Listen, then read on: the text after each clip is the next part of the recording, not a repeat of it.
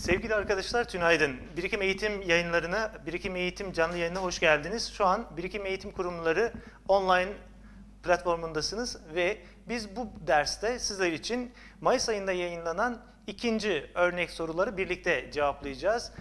Karşınızda Milli Eğitim Bakanlığı tarafından, Milli Eğitim tarafından açıklanan örnek sorular var. Şimdi bu örnek soruları çözerken özellikle sizden ricam soru tekniklerinizi geliştirmeniz. Herkes kendine uygun bir soru tekniği geliştirebilir ama en etkili soru çözümleri nasıl olur? Siz burada zamanlamayı kendinize göre nasıl kazanç haline getirebilirsiniz? Ona bakacağız. Zira son dönemde örnek sorulardan da görüldüğü gibi soruların bir kısmı zaman alıcı, yorumlama yapmanız gereken sorular, artık çıkarım sağlamanız gereken ve bu yeteneği geliştirmeniz gereken soru tipleri var. Karşınızda ilk sorumuz var. Sizin için ekrana yansıttım ben. Tüm şıkları görebiliyorsunuz ve okuyabiliyorsunuz. Eğer size ön bilgi verildiyse, ön açıklama verildiyse açıklamaya göre ve bilgiye göre hareket edebilirsiniz. Ama ben öncelikle soruya göre hareket etmeyi tercih ediyorum. Nasıl yani? İlk olarak sorunun açıklamasını okuyalım. Açıklamaya göre kendi hareket tarzımızı belirleyelim. Which of the following does not have an answer in the table above demiş. Burada dikkatinizi çekmem gereken yer şurası arkadaşlar. Özellikle böyle sorularda soruyu okurken lütfen not kısmının altını çizin. Mutlaka bir farkındalık oluşturun. Sonrasında ise çarpı ya da tik koyarak akışınızı belirleyin. Which of the following does have an answer in the table above? Yukarıdaki tabloda hangi sorunun cevabı yoktur diyor. Hangisinin cevabı yoktur? Bir bakalım sorular aşağıda. Soruyu okuduktan sonra sorunun istediği bölüme geçelim ve ona göre hareket etmeye çalışalım. Tüm tabloyu okumaktansa soruya göre okumak her zaman zaman kazandırabilir. Which activity is at the weekend? Cevabı var mı yok mu arkadaşlar? Aradığımız şey nedir ona bakacağız. Hafta sonu olan bir aktiviteden bahsediliyor mu burada? Günlere bakalım. Evet Saturday bahsedilmiş. Dolayısıyla bunun cevabı var arkadaşlar. Burada cevap bulabiliyoruz. Hafta sonunda etkinlik var mı? Onu bulabiliyoruz. Which activity is at the weekend? Hangi etkinlik hafta sonu? Cevabı var mı? Evet. When does Alice went to ride a bike? Alice ne zaman bisiklet sürmeye gidiyor? Alice'den bahsediyor burada. Bisiklet sürme bölümüne geliyorum. Ne zaman bisiklet sürmeye gidiyor? Var mı? Var. Bunun da cevabını aldık. Who refuses the offer giving a reason? Kim reddediyor arkadaşlar teklifi? Var mı? Bakalım. Invite diyor davetliler. Hemen bakalım reddeden birisini bulduk. İşaret koyalım. Devam ediyoruz okuyoruz. Ama dikkatli okursanız dediği şey şu. With a reason, giving a reason. Sebep vererek özellikle mazeret bildiren var mı? Arkadaşlar burada da mazeret bildirilmiyor. Var ama bildirilmiyor. Yani bunun cevabı yok. Ben yine de emin olmak için hemen bir aşağısına iniyorum. How many people accept the invitation? Kaç kişinin davetiyeyi kabul ettiğini görebiliyor muyuz? Daveti. Yeah, why not? Neden olmasın? Tamam demek aslında. Sure, tabii ki diyor. Kulağa harika geliyor diyor. Bunu da buluyoruz. Dolayısıyla aradığımız cevap C olacak. Ne yaptığımızı bir kez daha söyleyeyim. Sorunun açıklamasını okuduk. Sonra açıklamaya göre soru bizden ne istiyor ona baktık. Eğer bilgi kontrolü gerektiriyorsa yani tüm bilgiyi okumamız gerekmiyorsa biz şıklardan rahatlıkla gidebiliriz. Çünkü şıklarda soru var ve önemli olan sorunun ne istediği. Ama siz yine de ilk başta başlayabilirsiniz. Bizim için burada Alice çok önemli değil. Verilen tablo önemli. Tablodaki bilgiler önemli. Alice invites her friends for some activities. Arkadaşlarını davet ediyor. Evet görüyoruz. Here, uh, here is some information. İşte burada bilgiler var diyor. About the invitation. Davetiye ve cevapla ilgili. Zaten biz de ona baktık. Cevabımızı bu şekilde bulduk. Zaman kazanmak için kullanışlı bir yöntemdir. Dedik ki özellikle not varsa istenmiyor, uygun düşmez, sorulmamıştır, cevaplanmamıştır gibi not'ın altını mutlaka çiziyoruz. Sonra da sorunun isteğine göre şıkları değerlendiriyoruz. Evet, ikinci sorumuza geçelim. Arkadaşlar D şıkkını görelim. Zaten metin verildiği için metni oku ve ona göre cevapla diyor sorumuzun açıklaması. Siz bunları zaten aşinasınız. Ben doğrudan soruya geçiyorum. Tim var ve time uygun şekilde uygun düşen cevabı arıyoruz. Çünkü bizden hangisi uymamıştır, hangisi sorulmamıştır demiyor. Tim için geçerli olan yeri bulacağız. Tim ne diyor peki? I have to stay home to be safe. Evde kalmam lazım. Neden dolayı? Because of COVID-19. Evet, virüsten bahsediyor. Being at home is a bit difficult. Evde olmak zordur diyor biraz. So, I am trying to different things every day. Her gün başka şeyler deniyorum. Here are my favorite activities for each day. Her güne düşen etkinliklerimiz bunlardır. Ben doğrudan Tim'e gittim demiştim. Spends time only with his mom. Sadece annesiyle mi zaman geçiriyor arkadaşlar? Bakalım. Listening to my band demiş. Practicing French, trying new recipes with mom. Anneyi buldum ama sadece anneyle mi ilgili? Playing chess with my dad. Babasıyla da arkadaşlar zaman geçiriyor. Dolayısıyla bu Tim için söz konusu değil. Buradan iki kişi olduğu için sadece annesiyle vakit geçirmediğini anladım. Devam ediyorum. Listen to music only once a week. Haftada sadece bir kez müzik dinliyor arkadaşlar? Bir bakalım. Listen to my favorite band demiş. Evet müzik var. Şuraya geliyorum. Watching pop concert. Bunu da müzik olarak algılayabiliriz. Joining online drawing course painting arkadaşlar. Bu da var. Listening to music de dolayısıyla bizim aradığımız cevap değil. Studies two different languages. İki farklı dil mi konuşuyor arkadaşlar Tim? Bir bakalım.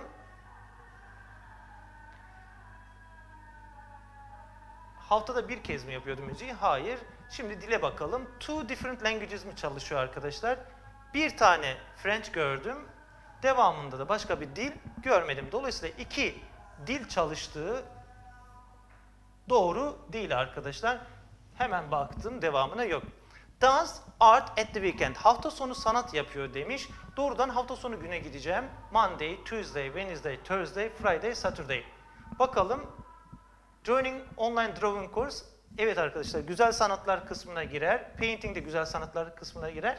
Saturday ve Sunday'de etkinliği yapıyor. Peki başka günlerde var mı?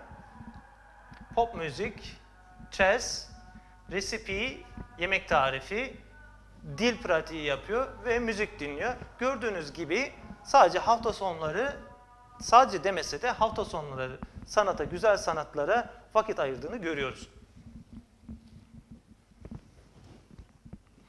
Şimdi yemekle ilgili sorumuza gelelim. Yine bir veri var. Veriyi okuyacağız.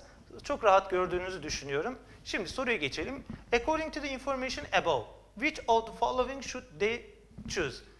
Hangi kursu seçmeliler? İki kişiden bahsediyor demek ki. Sorudan bunu anlıyorum. Kim o iki kişi? Arkadaşlar Pam görüyorsunuz. İki kişiye birlikte bakalım. Amy and Pam want to join a cooking course. Arkadaşlar pişirme, yemek yapma kursuna katılmak istiyorlar. Bakalım hepsi yemek yapma kursu mu? Evet. Ayrıntıya dikkat edelim. They both like preparing different desserts.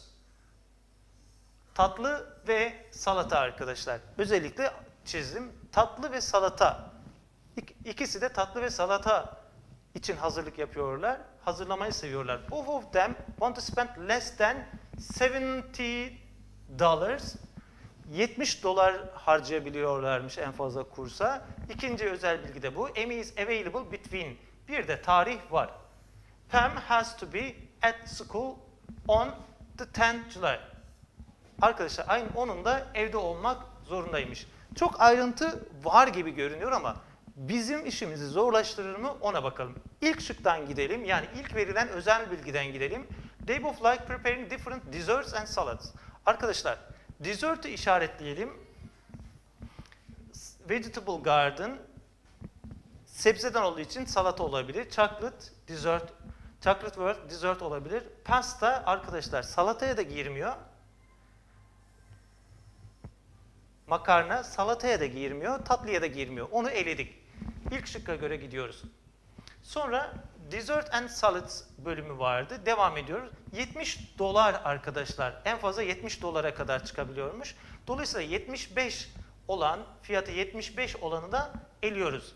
İki tane kalıyor zaten. 40 ve 60 dolarlık olanlar kalıyor. Çünkü elimizdeki para bunlara yetebiliyor. 75 dolar da çıktı aradan. Devam edelim. Üçüncü bilgiyle de kendimize uygun şekilde bunu yapmaya çalışalım. 5th and 12th July yani 5 ile arkadaşlar 5 ile 12'si arasında olması lazım. 5 ile 12'si arasında, 5 ile 12'si arasında. Bu da doğru. Burada da eleyemedik. Geldik son bilgiye. Pam ayın 10'unda evde olması gerekiyormuş. Dolayısıyla ayın 11'ine kadar devam eden kurs da Pam için uygun olmayacaktır. O zaman doğru şık nedir? Arkadaşlar, evet. Gördüğünüz gibi üçüncü kursumuz olacak. Hem tarih uyuyor, gördüğünüz gibi 5 ile 12'si arasında hem de tatlı uyuyor hem de fiyat uyuyor.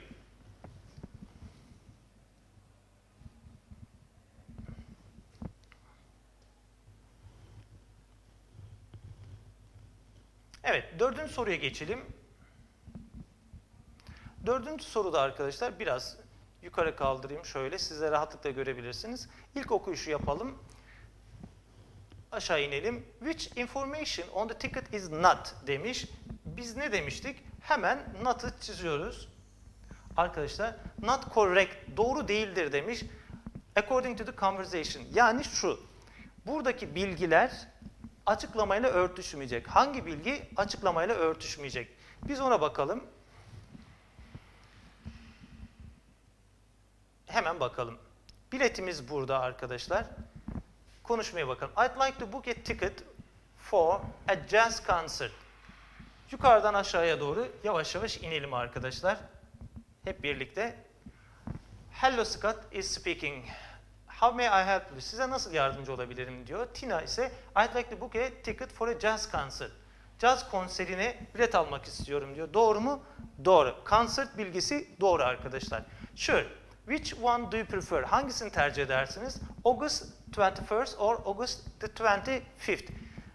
21'indeki mi, 15'indekini mi tercih edersiniz? Buradaki bilgi önemli. August 25th. Arkadaşlar date, tarihte doğru. 25'ini tercih etmiş. Tarih de doğru. Tarihi de işaretleyelim. Could I have your name and phone number please? Numaranızı alabilir miyim isminizi? Tina White arkadaşlar. Uh, my phone number is telefonu veriyor. Can I learn when the concert starts? Konserin ne zaman başlayacağını öğrenebilir miyim? It starts 7 p.m. O zaman arkadaşlar time da doğru.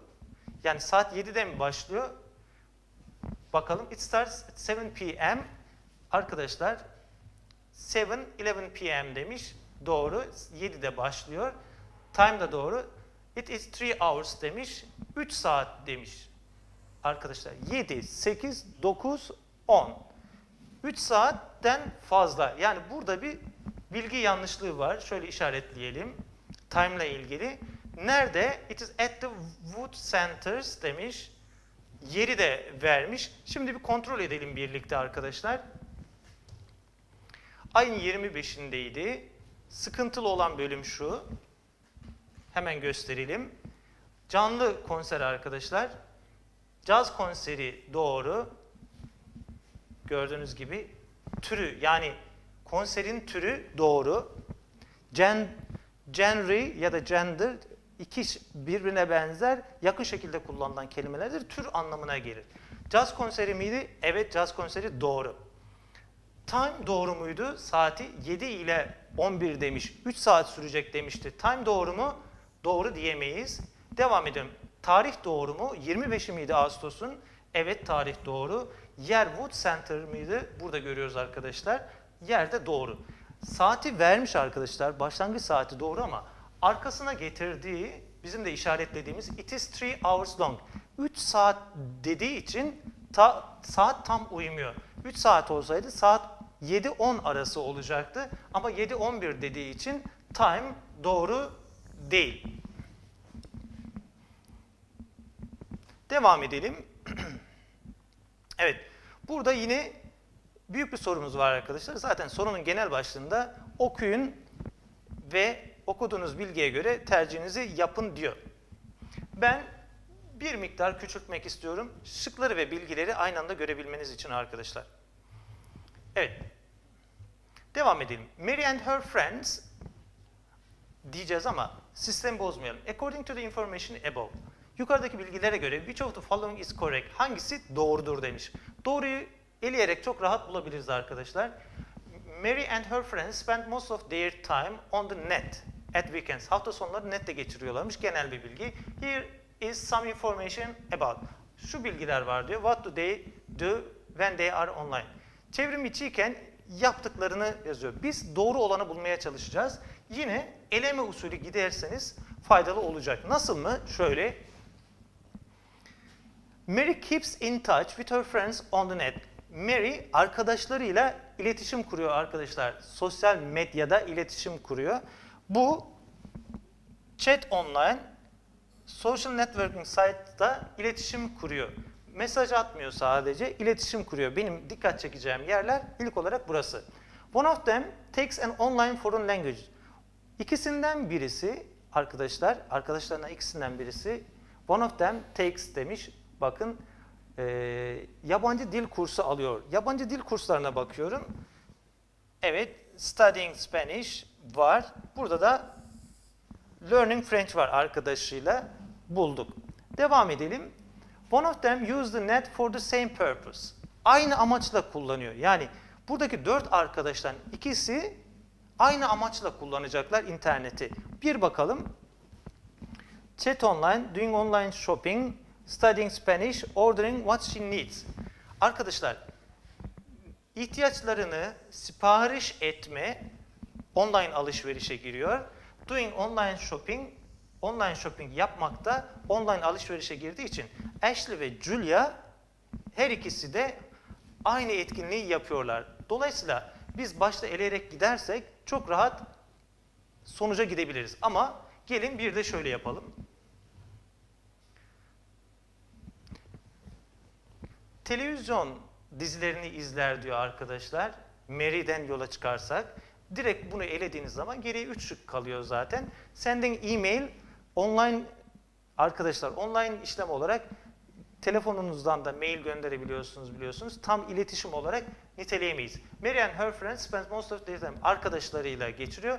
Sadece Mary'den yola çıktığınızda touch keep in touch arkadaşlarıyla iletişim kuruyor, karşılıklı iletişim kuruyor şeklinde düşündüğünüzde son iki şıkkı gidiyorsunuz zaten. One of them takes online foreign languages diyerek eleyebilirsiniz arkadaşlar. Mesela şurada online foreign language yok gördüğünüz gibi A şıkkında. Tek tek gidelim. Sending emails, doing research, downloading articles, chess training. Burada online language yok. İkinci bölüme geçiyorum. Watching movies, having video chats, practicing Italian. Sadece burada İtalyan var arkadaşlar.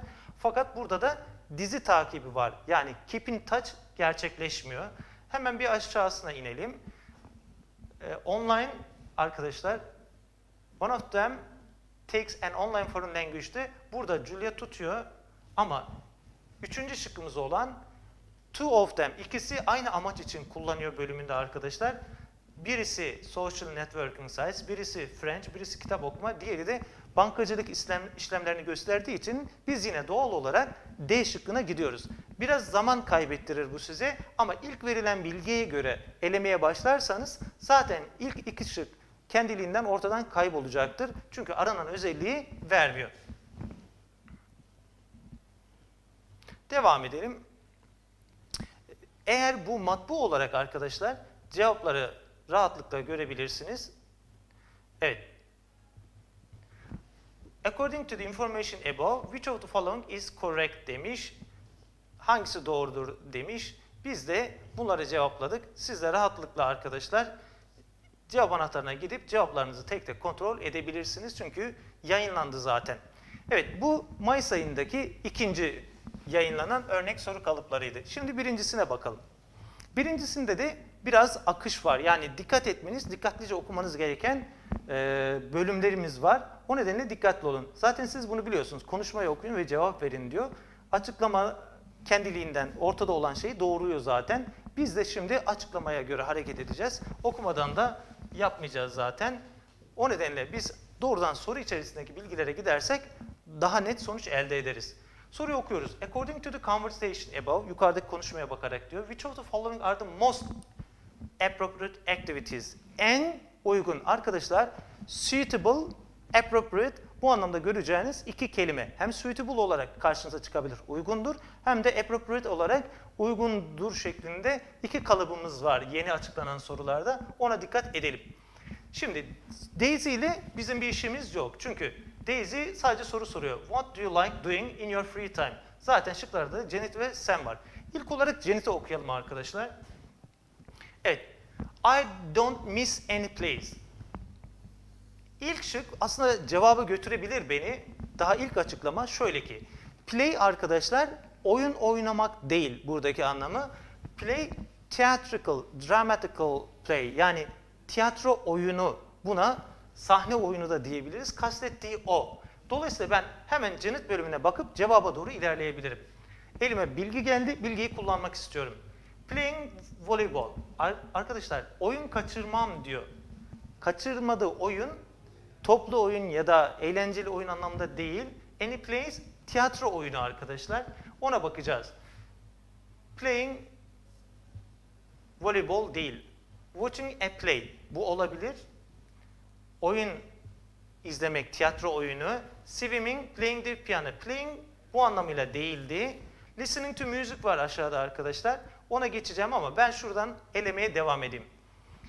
I am also fond of jazz and pop demiş. Also jazz ve pop'a e, düşkünümdür diyor. Bir bakalım jazz ve pop'la ilişkisine. Joining guitar course demiş. Alakası yok. Bu şıkkı eleyebiliriz zaten. İkinci şıkta going to the concert, konsere gitme olabilir arkadaşlar Janet için. Play ve concert var. Devam edelim. Swimming arkadaşlar burada gösterdiği şeylerden ilk önde yok bilgi olarak. Üçüncü bilgiye geçelim. Dislike playing any instrument demiş arkadaşlar. Enstrüman çalmak, çalmayı sevmiyorum diyor, nefret ediyorum diyor. O zaman playing the piano zaten şık olarak olmayacaktır. Geçelim playing team sports ve takım oyunları oynamayı sevmem demiş. Dolayısıyla ilk etapta daha Janet'tan yola çıkarak Sam'e bakmadan ilk şıklarımızı eledik. Nedir o? A ve C şıkları. Biz müzikle ilgili bölümde D şıkkında zaten şurada müziği gördük. Ona da artı koyabiliriz. Sonra Sam'e bakacağız. I enjoy buying new things. Yeni şeyler almayı severim. Arkadaşlar going to the shopping mall doğru olabilir.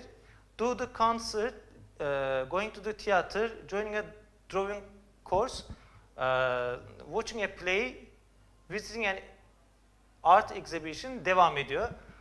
I also like doing sports. Spor yapmayı severim demiş. Doing basketball training kabul edilebilir.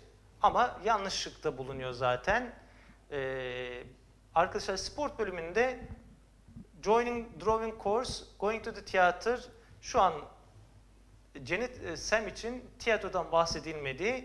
Watching play, visiting an art exhibition demiş. Spor yok burada. Oyun izlemekten bahsediyor mu ona bakacağız.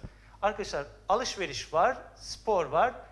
However, painting and seeing a play are unbearable. Oyun arkadaşlar, oyuna gitmek benim için katlanmaz diyor. Painting ve e, tiyatro oyunu. Dolayısıyla biz burada tiyatro oyununu da Sam için eliyoruz çünkü sevmiyor.